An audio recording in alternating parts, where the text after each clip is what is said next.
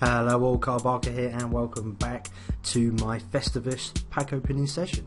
This is the Joyous Holiday Pack, we get one a day. If you're only just watching this right now and you've got Plants vs Zombies Garden Warfare, make sure you get on there every day to get your packs. So what we're going to be doing is hopefully opening my pack and from what I've read on Twitter they are all reinforcements today. So hopefully I'm going to get some nice reinforcements. Um, yeah, I'm looking forward to it. I mean, I like the customisations better, but still. Uh, yeah, we got the snowshoe. Um, he looks pretty cool. I'm not going to complain about that.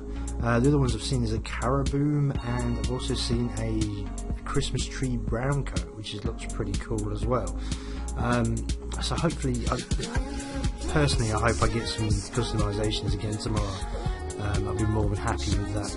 Um, but for, for saying that these packs are free, get yourselves on them. If you're new to this channel, don't forget to like, comment and subscribe. And I'm going to say um, toodles for now.